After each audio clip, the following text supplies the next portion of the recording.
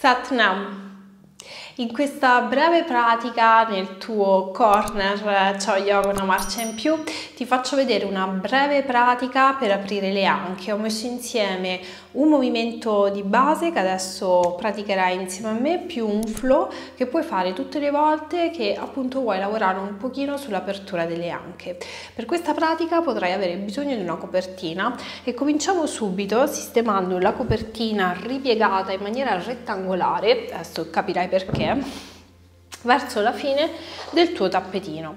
Qui andiamo a appoggiare le ginocchia larghe per entrare in Wild Balasana, quindi alluce a contatto, ginocchia larghe, mi allungo in avanti con le braccia, appoggio la fronte sulla, sul tappetino e mi prendo qui 5 respiri.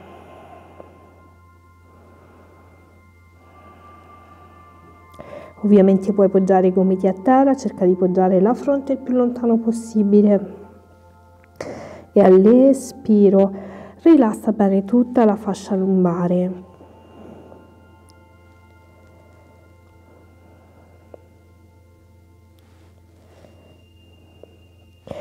Bene, ora lentamente, dopo i tuoi 5 respiri, sollevi la testa, guardi in mezzo alle tue mani, apri per bene le dita delle mani e inspirando cominci ad andare su in posizione quadrupedica, mantenendo tuttavia le ginocchia larghe e gli alluci a contatto ed espirando comincio a far scivolare il bacino verso il basso, staccando le tibie e i piedi da terra ed aprendo il petto in avanti come in una mezza specie di urva, um, urva dhanuratana, quindi cane a testa in giù, urva mukha Svanasana, pardon, cane a testa in su.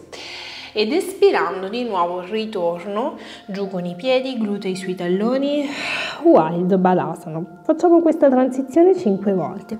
Quindi inspiro, vado su, entro nella mia mezza specie di Urva Mukha Svanasana, espiro, vado indietro.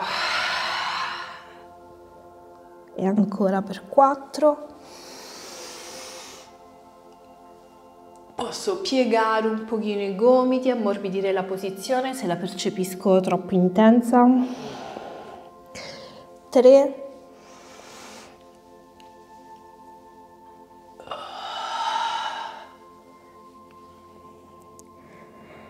2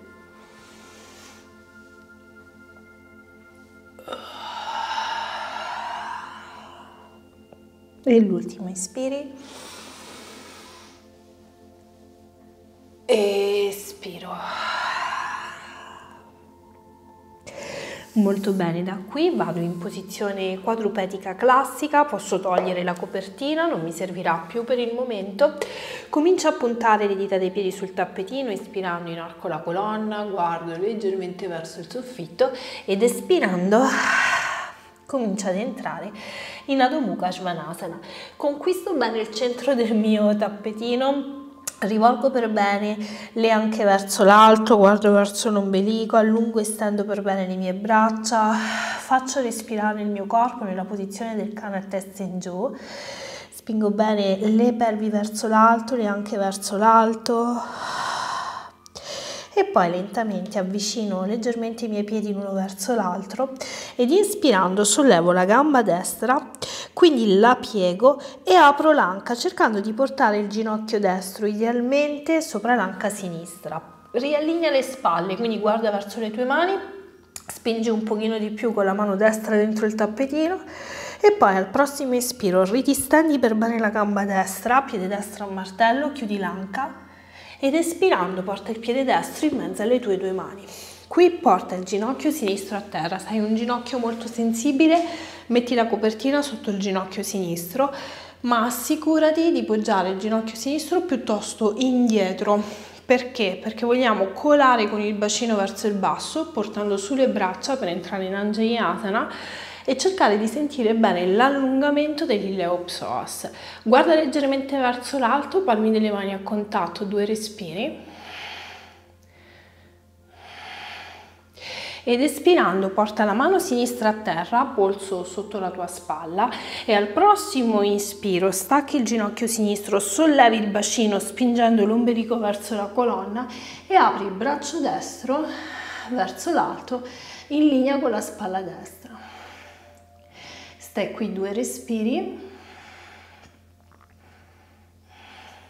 ed espirando scendi con il braccio destro all'interno della gamba destra, cammina con le mani all'interno delle tue gambe, apri la punta del piede sinistro verso l'esterno, pieghi la gamba sinistra e stacchi il tallone, scusate, la pianta del piede destro, il tallone destro rimane a terra. Porti i polpastrali delle dita delle mani a terra e mi allungo qui con la colonna per una versione più alta di Skandasana. Ancora due respiri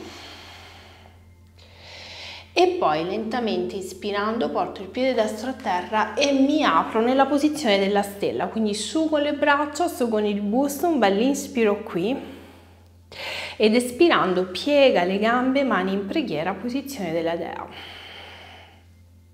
Di nuovo inspira, stendi le gambe, apri le braccia, posizione della stella.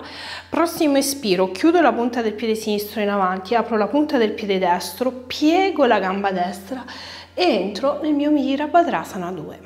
Cerca di mantenere le anche in linea con le spalle,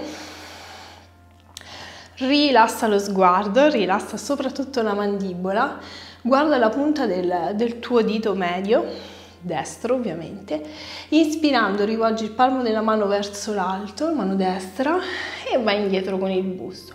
Questo è il tuo reverse warrior. Ed espirando riporti le mani a terra ai lati del piede destro, stacchi il tallone sinistro, trovi un high lunge, porti per bene le palme delle mani a terra, passo indietro con il piede destro, panca, un respiro, attiva bene il quadricipite, attiva bene l'addome ed espirando di nuovo Adho Mukha Svanasana. Bene, questo è il nostro flow per aprire le anche. Sentirai l'anca destra magari un pochino più aperta adesso rispetto alla sinistra. Proviamo a fare lo stesso lavoro dall'altro lato, quindi avviciniamo i piedi. Prossimo espiro, sollevo la gamba sinistra, piego la gamba e apro l'anca cercando proprio di portare il ginocchio sinistro idealmente sopra l'anca destra. Ora livella il peso sulle tue mani, livella le tue spalle, quindi chiudi un pochino l'ascella sinistra e poi ispirando ridistendo per bene la gamba sinistra, chiudo l'anca, guardo in mezzo alle mie due mani, espiro, piede sinistro in mezzo alle mie due mani. Ginocchio destro a terra, se ho bisogno della copertina sotto il ginocchio destro la sistema, inspiro, vado su, Angeli Asana. Mani in preghiera, guardo leggermente verso il soffitto, qui la colonna si può inarcare, devo sentire l'ileo psoas destro che tira un pochino.